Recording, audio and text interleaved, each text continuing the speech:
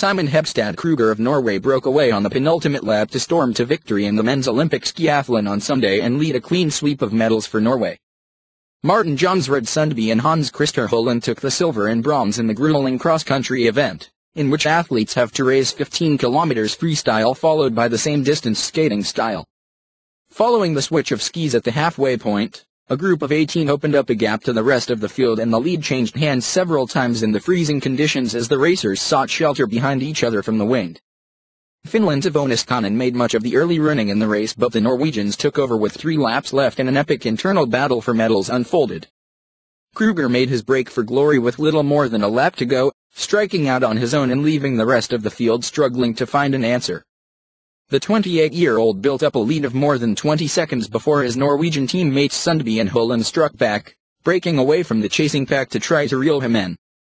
Though they managed to close the gap considerably, it was too little, too late as Krueger held on to cross the line and claim the gold medal in a thrilling finish.